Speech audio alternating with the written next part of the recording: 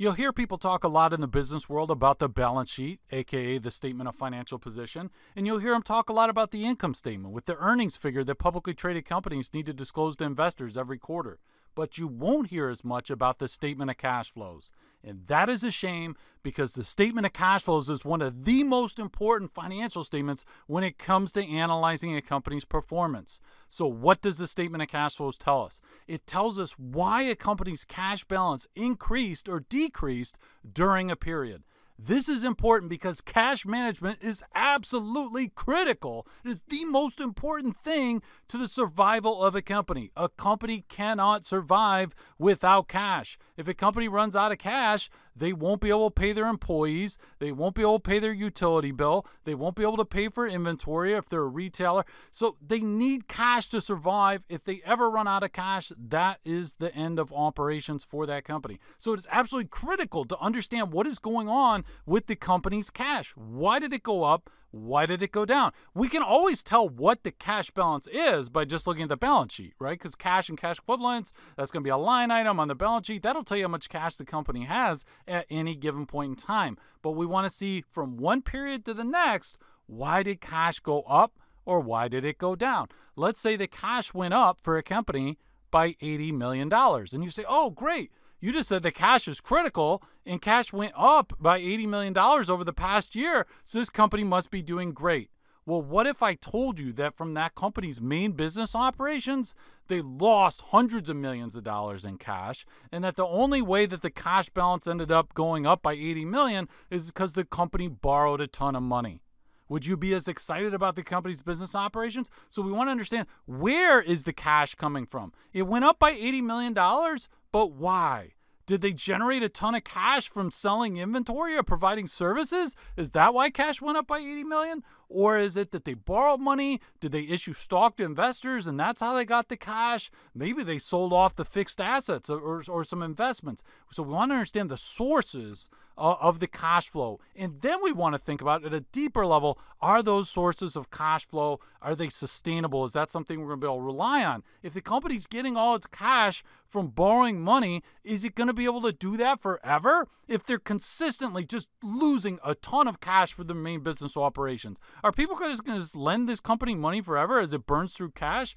Probably not. So we've got three sections of our statement of cash flow. So we've got the operating section, Okay, we've got the investing section, we got financing. So all the cash flows are going to be grouped uh, either as operating cash flow, investing cash flow, or financing cash flow. I like to think about operating cash flow is basically the company's cash basis net income. And when you use the indirect method, which is what most companies use to prepare the statement of cash flows, you actually start with the company's net income from its income statement, and then you make some adjustments to it to get to basically cash basis income. For, example, you would take out credit sales because credit sales increase net income because of accrual accounting, right? We recognize the sale even though we don't have the cash yet. But just, we don't have the cash yet. So we want cash basis net income. We would deduct from regular net income. We, we would subtract uh, any uh, increase uh, in net income due to credit sales. So we basically back out the credit sales. So you're getting cash basis net income. Okay.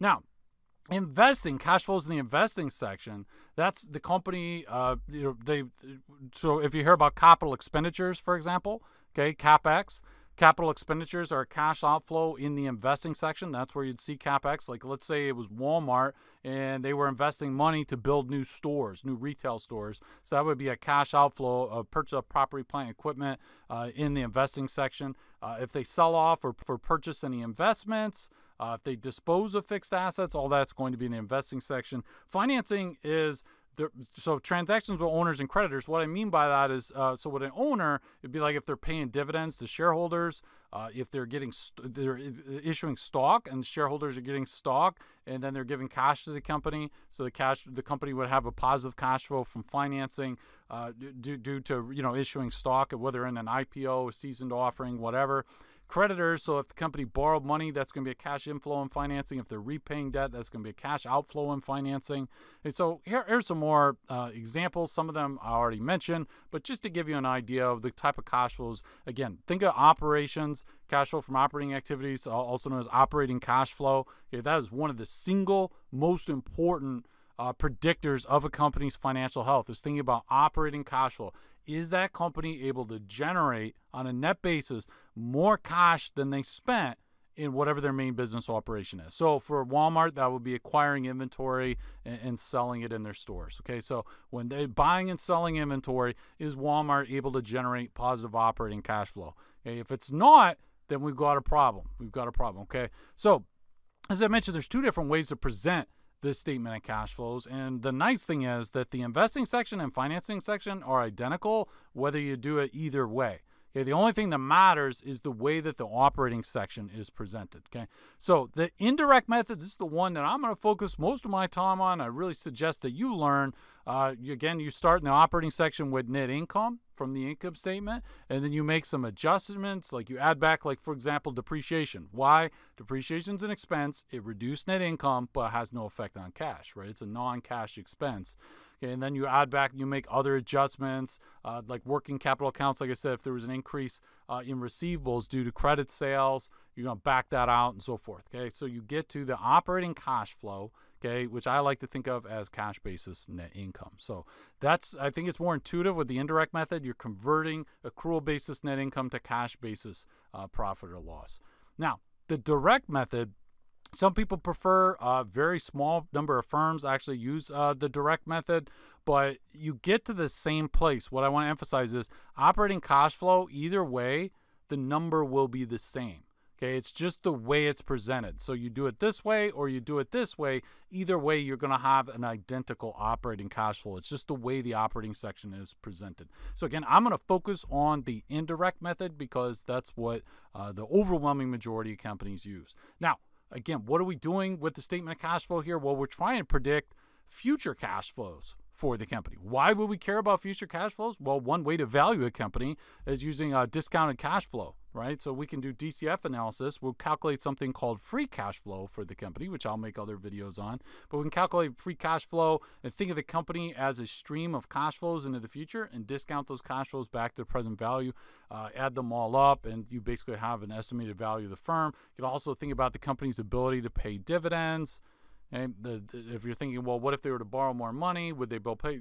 You know, are they going to be able to have enough cash to update their stores and keep their stores nice and clean? If we're talking about a retailer, so thinking about what the cash flows are going to be in the future. Again, if we've got positive operating cash flow, that's a great thing. If we have negative operating cash flow, then it's like, ah, uh, we're not able to stand on our own two feet, generate enough cash from our business operations. We're either going to have to borrow it, we're going to have to issue stock, or we're going to have to start selling off some investments or fixed assets. Now, when we look at a statement of cash flow, you can see exactly where a company is at in its life cycle. And I've got some examples of that just to give you a general rule of thumb. I'm just going to walk through it quickly. We'll get into this more with specific companies. But let's say you have a startup generally speaking, if you have a startup company, you would expect the operating cash flow would, in the initial stages, be negative because the company's just getting going, right? You don't expect them necessarily have positive cash flow from their business operations yet. So, have negative cash flow from operating, negative cash flow from investing. That's not a bad thing, by the way. Negative cash flow from investing for a startup or a mature firm, negative cash flow from investing is fine. You, you want the company either trying to expand or, like I said, if we're talking about Walmart, if they're not necessarily building new stores, but maybe keeping their stores, existing stores clean. So it's fine to have negative cash flow from investing. It's, a, it's actually a good thing. The company's investing in the business. Um, now, a startup, getting back, so they have negative operating cash flow, negative uh, investing cash flows. They're building out the company, and they have positive cash flow from financing because they're in the early stages of startup, you see they're getting money from either borrowing it or getting it from investors. Now, a mature company, okay, a mature company, you expect them to have positive operating cash flow. If they don't have positive operating cash flow and the company's been around a while, then you say, okay, they're more likely to be in distress. Okay, a company with negative operating cash flow that's been in business 30 years, and if they have positive cash flow from investing and negative uh, cash flow from operating, that's really a company in distress because they're not able to generate cash from their main business operations, so they're having to sell off fixed assets and stuff. that'd be like a company like J.C. Penney or something having to sell off stores, sell off fixtures. It's like, hey, don't you need that stuff to make money? And they're like, well, we're not making money from our main business, so we have to generate cash by selling off some of our stuff. Okay, so that's just an overview of how we can think about the life cycle. Now, let's dig into an actual statement of cash flow here. So we've got Walmart. and we actually have three. Uh, we have three statement of cash flows here. So we got for 2021, uh, 2020, and 2019, each uh, for the fiscal year ended January 31. Now, as I said, most companies use indirect method. Walmart is no different. So they start with net income. Okay, this is the operating section here. Okay, you got operating section, investing section down here, and then financing. So the operating section start with accrual basis net income from the income statement. They had 13.7 billion dollars of profit uh, for the fiscal year ended uh, January 31st, uh, 2021, and then you make adjustments. You add back depreciation and so forth. Okay, they get to 36 billion dollars of operating cash flow. Okay, that's a lot of operating cash flow. Okay, now we look at the investing cash flow from investing is negative, negative 10 billion. That's fine though. That's fine. That's not a problem. Payments for property, plant, and equipment. Maybe they're building more stores. Maybe they're updating existing stores. Uh, you know, maybe they had a fleet of trucks and they had to replace some of their trucks. Whatever. That's fine. This is not a problem that they have negative cash flow from investing. Now, cash flow from financing could go either way for a, a, a, a large uh, company like Walmart that's successful. Uh, now, we see in this case it's negative, but that's not a bad thing. Why is it negative? Well, repayments of long-term debt, so they're paying back some of the debt that they borrowed. Uh, dividends paid to shareholders, so they paid out six billion dollars of dividends, and then they repurchased some of their stock, two point six billion dollars. So that's fine. That's good. If you're an investor, hey, they're paying their debt, they're issuing dividends, they're uh, repurchasing shares. So just because you see a negative number for uh, cash from financing or cash from investing, that's not a bad thing. That's not a bad thing. This company has positive operating cash flow, and this is what. So you see now what is happening with the company's cash during the period. They're generating plenty of cash from their operations to stay in business. They're not having to borrow tons of money or whatever. They're not existing because people are lending them money. They generate. They can stand on their own two feet with the cash flow they're generating. They're updating their stores. They're making investments. They're paying dividends and so forth. So this is what is happening with the cash from Walmart. Now companies companies will sometimes play games with the statement of cash flow, and we will talk about manipulation and things like that. And, and, sometimes it's not even just manipulation, but just thinking about the different numbers that we have here. So, for example, I haven't looked at Walmart's uh, statement of cash flow a lot. I just pulled it right before this video, so I don't want to give an in-depth analysis here. But just the first thing that jumps out at me is the company's accounts payable went up by almost seven billion dollars during the period. And you see that that is added as a working capital adjust, adjustment. And I've got other videos. If you're wondering, like, how does he actually make a statement of cash flow? How does all? The, I've got other videos on that if you want to check it out. But long story short, when there's an increase in a, a current liability, uh, like accounts payable, that's going to be added back as an adjustment to net income in the operating section.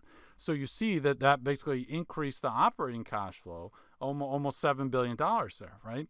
And then the question is, well, is that sustainable? Why why would it happen that account payable go up by seven billion dollars? It wasn't like that last period or the period before. That's a big jump, right? So last period it was almost flat and then went up almost seven billion. What is that? Well, delaying payment of vendors, right? That's one way the account payable would go up is you're just delaying payment of vendors. Now you're waiting longer to, to pay your suppliers.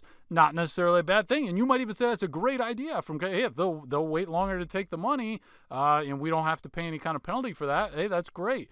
But you got to think about it like this: is that a sustainable source of cash flow? Are they, we're going to, so let's say, I'm just going to make up a number off the top of my head. Let's say that they were willing to wait 40 days to get paid uh, this period. Can we go to 50 days? Can we go to 60? Maybe. What about 120? Now, okay, come on, let's not get ridiculous here. So we want to think about how the sources of cash flow sustainable or non sustainable. We're going to dig into this and a lot more when we get a higher level with manipulating the statement of cash flow and thinking about the line items therein.